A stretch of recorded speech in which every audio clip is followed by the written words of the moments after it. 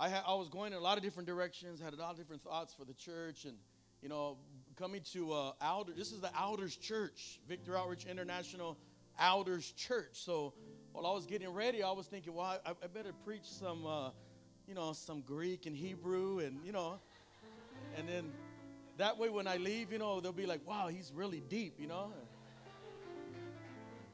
And then I thought, well, no, maybe I better preach one of those uh, fiery messages where everybody jumps up and goes crazy and runs to the altar and they have a good time. They don't remember the message, but they just have a good time. You know, so I thought, well, maybe I'll preach, you know, one of those messages. And then the Lord didn't give me any of those messages. He just pretty much changed everything. And, and what I come with tonight is simplicity and substance. Just simplicity and substance. And when Pastor Al came up here and he opened up the service, and he said that, you know, there's some of you that have to leave something here tonight at the altar, that, that confirmed that I'm on the right page. I'm on the right page. Simplicity and substance. John MacArthur, he said this the simplicity of the gospel gives what the complexity of human wisdom promises but never delivers. Father, we come before you tonight, and Lord, we thank you for your beautiful presence that is here right now, God. And I pray, Lord, that you would continue to fill this place. Just let your anointing saturate every heart, every mind, God. I pray that you would use me, God, just as an instrument in your hand, God, a tool, God, a mouthpiece from your throne for every person, God, that hears this message tonight, God. I pray in the name of Jesus, just have your way, and I'll give you all the honor and all the glory. In Jesus' name we pray. And everybody says, Amen and Amen. I'm going to ask you to turn your Bibles to the book of Mark, chapter 10. The book of Mark, chapter 10. I got to say it again, man. You guys got a beautiful church here. Beautiful, beautiful church. I get so jealous when I walk into the sanctuary, when I walk into the front doors. So, half the time while I was sitting over there, I was asking the Lord to forgive me for my jealousy so I could preach, you know. Jesus. Mark chapter 10. Give me a loud amen when you have it. And let's begin reading at verse 17. The Bible says this As Jesus started on his way, a man ran up to him and fell on his knees before him. Good teacher, he asked, What must I do to in- inherit eternal life? Why do you call me good? Jesus answered, No one is good except God alone. You know the commandments you shall not murder, you shall not commit adultery, you shall not steal, you shall not give false testimony, you shall not be you shall not defraud and honor your father and your mother. In verse 20 it says this. Teacher, he declared, all these I have kept since I was a boy. Jesus looked at him and loved him. One thing you lack, he said. Go sell everything you have and give to the poor, and you will have treasure in heaven. Then come follow me. At this, the man's face fell. He went away sad because he had great wealth. The title of this message tonight is The Man with No Name. The Man with No Name. The rich young ruler was, was a man that he had everything that he needed in this life. But he wanted to make sure that he had all that he needed for the next life. So he asked Jesus, What must I do to inherit the kingdom of God? What must I do to inherit eternal life? And Jesus said, Go sell, give, then come follow. Go sell, give, then come follow. The Bible said that this young man's features fell and he went away sad. The young man is not mentioned by name, only the rich young ruler. And why? It's very, very simple. It's because he never came back after the Lord told him what to do. It's very simple. The man with no name associated with Jesus talked with Jesus, came to Jesus and said, What must I do to inherit eternal life? And Jesus told him, Listen, just sell what you have, give to the poor, and then come follow me. His face frowned. He left sad because he would not let go of what he had, what he possessed. He wouldn't let go. He never came back to Jesus. Now, the question tonight is Does the Lord know us by name? Does, does the Lord know us by name? Or does he know us by that one that just can't let go? The one that's always wanting but never giving. The one that's always asking but never listening. The one that's always watching but never doing. The one that always gives advice but never takes it. Come on, somebody. See, do we have a name or is there a description that describes us? The rich young ruler was known by a description because he could not let go of what he had. Now, what is it that you have? What is it that we have that, that stops, stops us from giving God our all and all? Now, it could be wealth. Maybe we have some wealthy people here tonight. It could be wealth. It could be a relationship that isn't edifying. Come on, somebody. It could be fear of uncertainty. It could be the love of the world. The rich young ruler just couldn't let go. And why? Because he focused on what he had to give up and he couldn't see what he, what he was about to gain.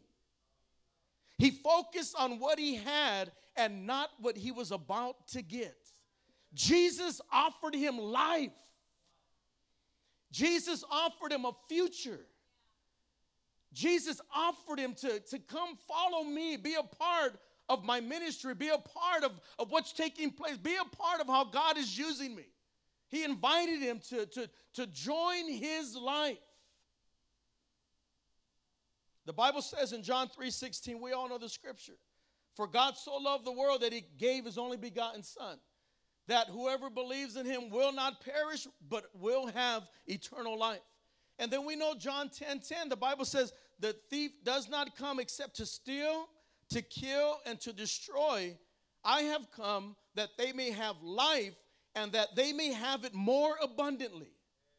You see, this young man couldn't comprehend or understand that by, by letting go, he was actually unlocking the window of abundance upon his life. Far more than what he could ever have let go. I have come that you may have life and that they may have it more abundantly. Now, here's a little bit of Greek for you. That word abundant, New Testament, it means exceedingly over and above. It means, listen to this, it means more than necessary. More than necessary. It means extraordinary and surpassing. Now, there's a commentator by the name of John Gill, and he says this about this particular scripture. He says, Christ came that his people might have eternal life. With more abundant evidence of it, stronger faith in it, and a more lively hope of it, besides life, they might have an abundance of grace from Christ. All spiritual blessings, of fullness of joy, glory, and happiness. It's the abundance of grace. All spiritual blessings, of fullness of joy, glory, and happiness. The Bible says in Luke chapter 6, verse 38 Give and it will be given to you, good measure, pressed down and running over. The, the rich young ruler could not understand how he could gain by giving. Gain by giving. Now, me and Arlene, we've been serving the Lord for over 28 years now. And I've been around thousands of Christians. Christians and, and, and many of them are, are, are so grateful. and, and thankful and cheerful and happy and always ready and willing to do what, whatever God wants from them. Those are the best people to be around. Come on, somebody. Huh? But I also been around many Christians that are never grateful. Never thankful, cheerful, never happy, or they're, they're never ready and willing to do what God wants them to do. Now, now, now you got to understand this that both have given their lives to the Lord. These are Christians. They've both given their lives to the Lord. They're, they're, they're, they're both a part of the, of the family of God, both a part of the, the same ministry. They sit under the same vision, the same preachings, the same teachings. Both have access to the same windows of opportunity. But there's those that are never fulfilled, never have joy or, uh, are, the, are, are the presence of the Lord within their life. And, and, and, and why is that? Why is it that you can be with a group of Christians and, and man, they're just so grateful? They love God, they love the Lord, and they're happy. They might not have everything that they that they want or desire, but they have everything that they need. And they're grateful for what God has done within their life. But then you come around this side of the church and you have those that are never grateful, never thankful. And God has blessed them and they're still not grateful. But they're sitting under the same ministry, the same preachings, the same teachings, the same God, the same calling. Why is there a difference? And I'll tell you why. Because one group still hasn't let go of something that they're holding onto. You see, this young man had everything. He had everything. He was a young man of wealth, but he could not let go of what he had. Just like that, that group. You know, they're still holding on to something. It could be hurt. Many of us have been hurt. It could be resentment, unforgiveness, anger, pride, jealousy, envy. I had all those things walking into the church. I'm just, I'm, I'm a little bit, I get mad sometimes. I say, God, why do you spoil other people and I don't get spoiled? Why do you open up the windows on heaven on San Diego and Bakersfield? It's 110 degrees and nobody wants to come outside. There are countless Christians today that are not living out a fulfilled Christian life because they are still holding on to that one thing that they can't let go of. Not realizing that by letting go, we gain so much more. You, listen, you can't grow until you let go. You can't grow until you let go. Christ came that his people might have eternal life and a more abundant life. Now, I'm just going to go over a few things that this young rich ruler missed out on. First of all, he missed out on the abundance of grace. This is what he this is what he passed up by by not letting go. He missed out on abundance of grace. Grace is unmerited favor from God. In other words, grace is something that God gives to you and I, even though we don't deserve it or have earned it or have even tried to work for it. Huh? It's unmerited favor from God. That's grace. God's favor is consistent and it's and it consists of, of special benefits and blessings. You see, when Christ died on Calvary, the perfect sacrifice was presented, making it possible for all who believe to enjoy God's favor. And this young man couldn't understand that his money couldn't buy this. He couldn't buy this. This is something that was offered to him, but because he couldn't let go, he couldn't have the un, un, he couldn't have the favor of God upon his life. Listen, I want you to know that favor isn't fair sometimes. Huh? God is always looking for those ones that are willing to let go. God is always looking for those ones that will take that next step. He's always looking for those ones that will follow in the right direction. He's always looking for those ones that say, Yes, let's make it happen. He's always looking for the ones that even say, I don't understand it, I don't see it, but if you see it, I'm ready to follow. He's always looking for those. This young man could not let go of what he had, so he missed out on favor. He missed out on what God was giving him. Another thing he missed out on, we read in the commentator that he missed out on all spiritual blessings. Now, these spiritual blessings consist of these justification, peace, pardon, adoption, sanctification, and eternal life. This man with no name passed up a full pardon. That's what he passed up. He passed up a full pardon. Now, some of you are saying, wow, what, what, what does that mean? Well, those of you that have been in the system before, it never leaves you. It doesn't matter how much God has done within your life. It doesn't matter if you look different now, you act different now, you're saved now, you love God now. When it comes down to the application, it doesn't change. It's always with you, your past. But see, right here, this rich young ruler, he passed up a pardon. He passed up a remission of consequence, exemption of convictions, forgiveness of offenses. Jesus said to let go of what you have so I can outpour what I have. The Bible says, therefore, if anyone is in Christ, he is a new creation. The old has gone and the new is here. This young rich ruler passed up a full pardon upon his life. You see, when we accept what Jesus offers, we become a brand new person. That's why I thank the Lord today that I'm a new person. My wife said we were messed up on gangs and alcohol and drugs and we had a terrible marriage.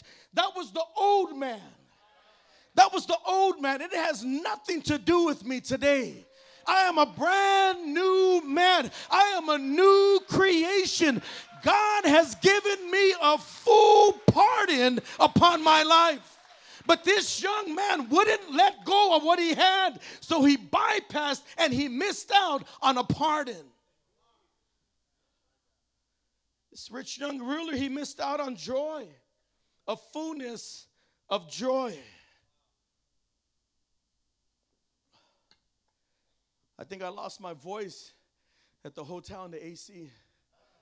Yeah, we stood, we stood in the hotel all day today, ate junk food, laid on the bed eating with the AC on 65, you know. He, rich, he, he, he passed up fullness of joy. See, joy is, is, is great pleasure, it's happiness satisfaction, delight.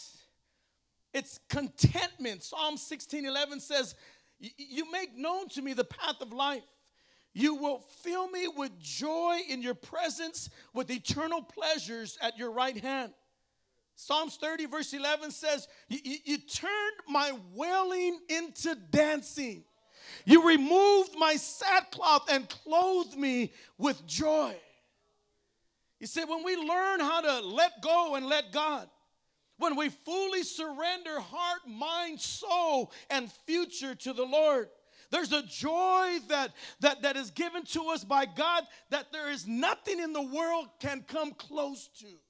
See, this young man thought that he would give up joy and completeness by giving to the Lord by letting go of what he had, he thought he was going to lose out, but he missed out on, on joy that only God can give.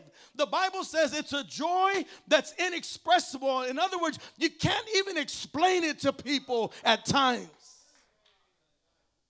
There's no can that could give it to you. There's no line that could give it to you. There's no bottle that can give it to you. There's no girl that can give it to you. There's no guy that can give you this type of joy that is speaking about right here.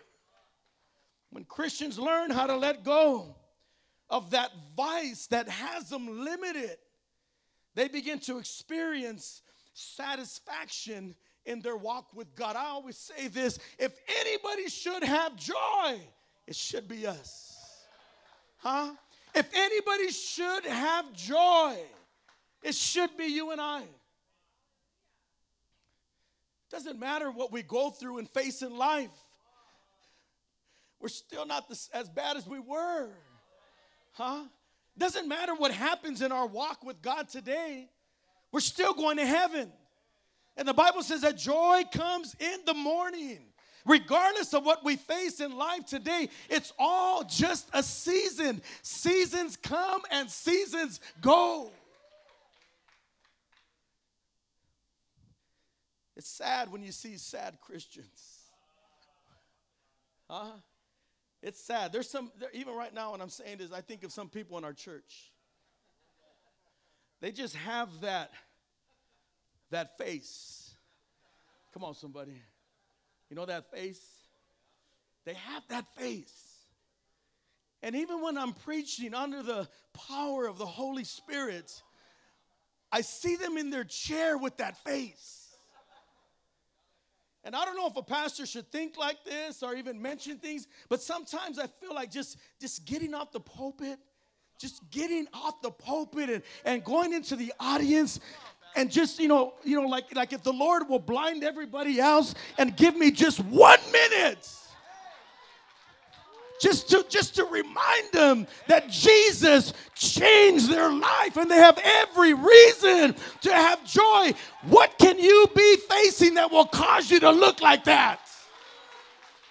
We have Jesus within our lives. We are a new creation tonight. All things are past. Behold, all things have become new.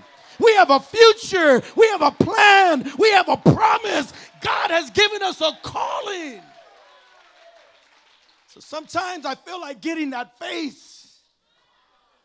Because I don't understand how you could be sad. You could be in prison right now. You could be in jail right now. He passed up a fullness of glory. Now, right here, this glory, it doesn't mean what you might think it means. It, it means great honor and admiration. This is what this young rich ruler passed up. Now, today, you know, has got a, a quick question. Let me catch my breath. Has anybody ever come to you and to say, man, you're doing so good? Huh? I, I am so proud of you. You have come a long way. I remember how you used to be, David. I remember. Huh? I remember how you used to be. Huh? You've come a long way. God has done a miracle upon your life, and, and you make me so proud. And, and I'm honored that you're my son, or my daughter, or my nephew, or my niece, my husband, or your wife. Have you heard those words lately? I've heard those words. And this is what this young rich ruler passed up. Because, see, when I came to the Lord, I never heard those words. See, my wife, boy, she looks all like, you know, oh, she's nice, you know. Huh?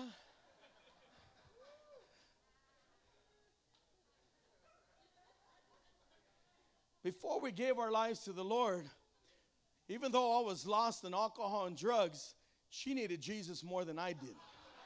I'll be, I'll be completely honest. We're being honest tonight. Huh? Because she was like, you know, really, really mean and angry and bitter, hurt. You know, you know that type of anger, like, man, she might stab me tonight. Huh?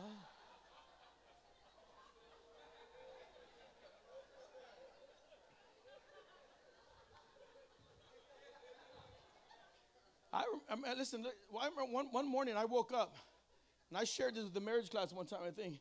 I, I woke up one morning and I was, in, I was in the living room of our house, and I was passed out on the floor.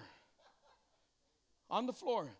And when I woke up, I just remember waking up, and I was, I was right there on the floor, And I woke up, you know, when you wake up after a whole night of cocaine and alcohol, and, and you just have one of those killer headaches, and your mouth is dry, and all you want is some water. You know, you just want to be able to get up and walk to the kitchen, get some aspirins or water, or another beer, whatever, you know. And, and I remember I, I got up and I looked and I go, dang, what happened? Because there was blood all over the wall. Blood. N- not a drama, real blood on the wall. And then I looked and I was saying, oh man, what happened here? And then I, I started to, and then I was going, and then I had blood all over me, dried up, dried blood. Then, you know, I found out just a few minutes later that she got one of those iron skillets. Come on, somebody. She was, she needed Jesus. I was a hurting soul, and she was hitting me with the iron skillet when I was already passed out. I didn't hear those words, man. I'm proud of you, man. You, you've come a long way, and I'm glad that you're my husband. I never heard those words. But listen, when Jesus came into my life, when the Lord set me free from the man that I was at one time, all that changed. And now, you know, even right now, she's filming me. She says it's for Facebook Live, but it's not because I catch her at nighttime just watching it over and over. I tell her, listen, you got to be careful, man, because that's a sin. You got to put God first, not me. Your heart has to be with God first. I'll pray for you, sister, but got to calm down and relax. See, this young ruler, he passed this up. He passed this up. All because he couldn't let go of what he had. And sometimes that's how we are in the church. God says, listen, just let it go. My hand is a lot bigger than your hand. Just let go what you have in your hand, and you're going to find out that there's so many blessings that I have for your life that your money can't buy.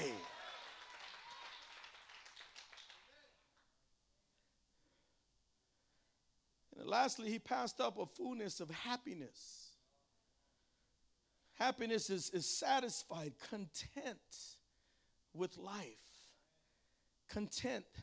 As Jesus started on his way, a man ran up and fell on his knees before him. Good teacher, he asked, What must I do to inherit eternal life? Why do you call me good? Jesus answered, No one is good except God alone. You know the commandments you shall not murder, you shall not commit adultery, you shall not steal, you shall not give false testimony, you shall not defraud, and honor your father and your mother. Teacher, I declare all these I've kept since I was a boy. And Jesus looked at him and loved him. And he said, Just one thing the simple, simplicity. Just one thing that you lack. Go sell what you have, give to the poor, and come follow me. At this, the man's face fell, he went away sad because he had great wealth. The man with no name walked away with disappointment on his face. So much disappointment that it caused his face to frown. Now, I thank God tonight that you and I, we don't have to walk around like that no more. Come on, somebody. Maybe you walked in tonight like that. But we don't have to walk around with our faces frowning anymore. As a matter of fact, a matter of Bible fact, look what Leviticus says in chapter 26, verse 13 I am the Lord your God who brought you out of the land of Egypt so you would no longer be slaves. I broke the yoke of slavery from your neck so that you can walk with your heads held high. I broke the yoke of slavery from your neck so that you can walk with your heads held high, not signifying pride, but signifying, look what the Lord has done. He healed my body, He touched my mind, He picked me up just in time. Listen, I don't think you hear me tonight. We are able to walk with our heads held high, no longer looking at the floor in shame, no longer looking away in guilt, no longer looking as life has beat us down. Jesus has changed our life. So it doesn't matter where we go and who we're around, we're able to walk into that place knowing that we are a new creation. Jesus did change our lives. We can walk with our heads held high. I don't want to be known by a description. I want God to know my name. I'm willing to let go and follow Jesus.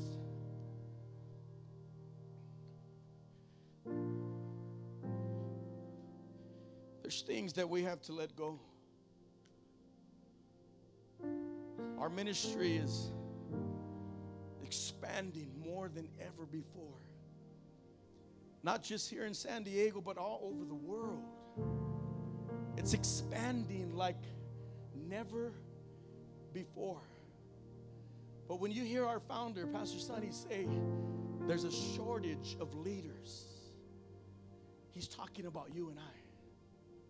You and I. That's why we need men, women, couples, young people that let go and let God. So that we can continue to fulfill our, our vision of not only reaching here in this beautiful city, but reaching the world. Now, before I open up the altar, let me just say this. Can you imagine if that rich young ruler came back? Can you take a moment and just imagine if he came back? First of all, we, we, we would have known his name. We, he would have been named. I believe he probably would have been written about as a, a rich man that gave it all to follow Jesus. Second, I believe we would have probably read in the, in the Word about the great works this man did when he returned and followed Jesus. Third, I believe that his name would have been used in the Word as an example to others of what takes place when we let go of what we have and gain what God has for us. Can you imagine if he came back? We, we probably would have been reading great exploits. He probably would have been used as an example. Maybe Jesus would have even had a parable about him. Just maybe we, there would have been a study about him. How a rich man gave all that he had and how the Lord abundantly blessed his life. That would have been nice. But what about our story? What about our story? How's our story going to play out? Are we going to be the one that just holds on? Just hold on. You could walk out of these doors tonight sad. Because I believe every one of us has something that we got to give up tonight. There's something that we have to surrender to the Lord so that we're not bypassed and miss out on all the spiritual blessings God has for you. If you were to name it today, I would say that I'm a I'm a Bogart in Christ. Huh? You ever hung around people that say, "No, that guy's a Bogart," right? He wants everything. That's what I am in Christ. I want everything that God has for me. And if it means humbling myself, say, Lord, I got this problem, I have this problem, I have this problem, I need to let so that I could receive all that you have for me. And that's the first thing I'm going to do. If I was sitting under this preaching right now, I would be the first one at the altar this evening. God wants to bless you. He's blessing, he's blessing the ministry already. He's blessing San Diego already. That this church is a model church for the world today. A model church for the world. for Victory Outreach International. This church is, is, is directing many of our churches right now. You guys are blessed. But some of you are sitting here in the blessed land and missing out on what God has for you. All because you don't want to let go. So tonight, as we sing this song, I'm not going to have a long altar call. If you say, Pastor, that's me, I got to let go. Just come to the front. We're going to pray. We're going to ask the Lord to have his way.